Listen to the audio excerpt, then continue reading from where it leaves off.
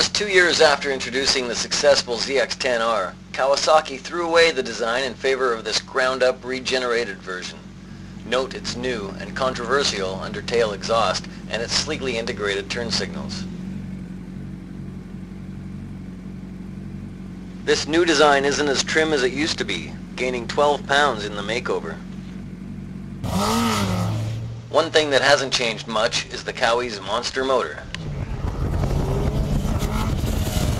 We weren't entirely pleased with the 06 revisions, as the ZX has lost some of its nimbleness in favor of greater stability.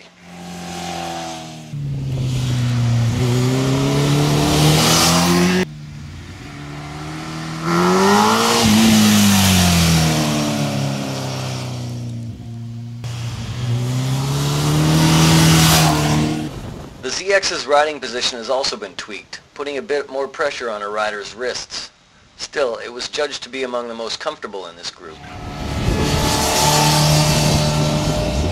Wheelie hounds will appreciate its ability to loft its front wheel at speeds over 100 miles an hour. At the track, the Zixer can hold its own, offering up the biggest top-end wallop of the bunch. Some of us missed the old ZX's scalpel-like agility, while others appreciated the new bike's more stable platform.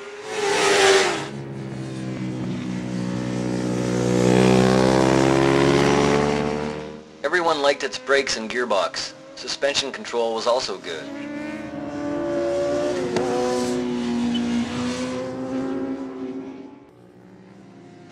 The Green Meanie is fast and capable, but it's slightly off the mark.